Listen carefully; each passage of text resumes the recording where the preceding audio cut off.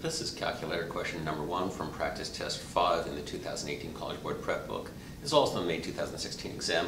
College Board gives a graph showing the number of 3D movies released, and they ask between which two years was the, there the greatest increase in the number of 3D movies, or the greatest change.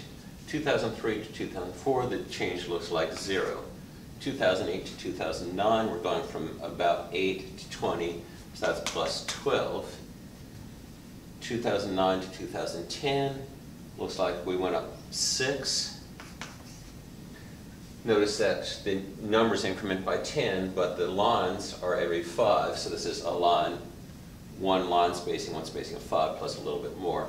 In 2010, 2011 is from 26 to 45, which is 19-ish. So the greatest change be choice D. College Board often asks you to interpret data from a graph like this. Come back soon for my next math video. With math, there's always more.